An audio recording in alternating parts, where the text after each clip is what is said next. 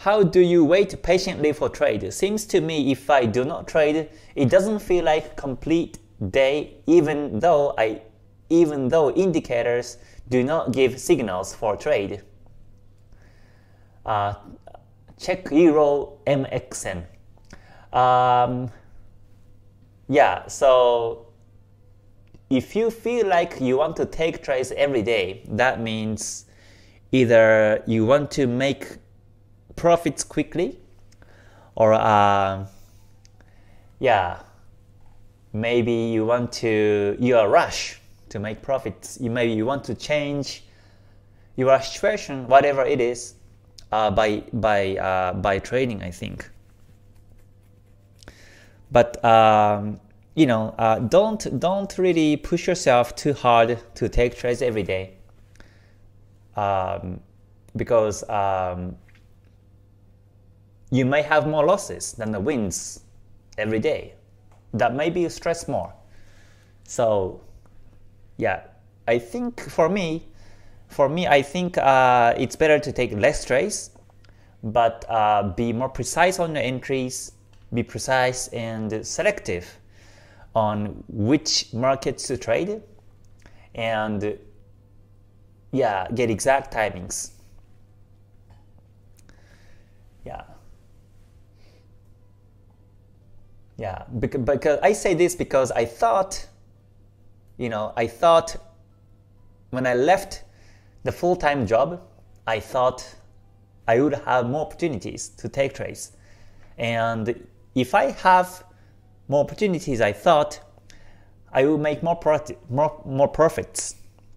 But uh, it wasn't really true. It wasn't really true. I was dreaming to leave my company and uh, trade full time, and I did it. So when I was working full time, I only had two hours, three hours to, to take trades. But within two hours, three hours, I took 20 or 30 trades. I took so many trades because I wanted to make profits and uh, quit the company. And I did.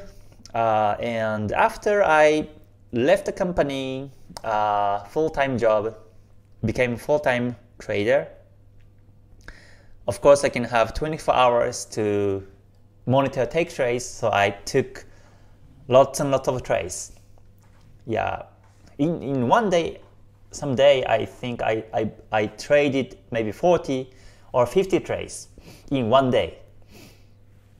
But uh, I kept losing. I kept losing and losing. I kept I I, I lost more than when I was trading part time, and I thought that's something wrong. So that's when when I changed my mindset, not to take many trades anymore every day. So yeah, uh, you know, take less trades. Uh, we you also have to learn how to stay away from the charts. Without looking at the charts, um, you simply um, you know um, stay away psychologically also. Thank you for watching the video until the end. And before ending this video, I would like to add one more thing that is important in psychology. And this is my favorite. And the proverb is never try to get a head and tail the fish and only get the body part of the fish because that's where the juice is. And what this really means is that sometimes you may try to capture the pips from the beginning until the end of the trend. And but you have to remember that that is impossible to get all the pips from the, beginning until the end. You can only get the body part because that's where the juice is. And that's why whenever you see trends, you better think where is the head and where is the tail of the big fish of the trend and only try to get the body part. So that means uh, you can, after you confirm the trend happening, you enter the market, but that will be too early. You have to confirm the trend, continuous trend, uptrend or downtrend, but never try to get the beginning of the trends. Also, whenever the market goes flat and sideways after the big trends, you never exit just because the market retraces. That retracement might still be up temporary and the market may go up continuously. But sometimes market goes backwards heavy and maybe reverse in wave, maybe some kind of reverse confirmations, and the market start to go down continuously. Then you exit there with some profit. So never try to get the head and tail of the fish is actually that is very important. And my strategy is built in this way. So hopefully you stick to this idea and uh, become a successful trend follower. So until I see you on the next one, please stay healthy and stay safe and stay gold.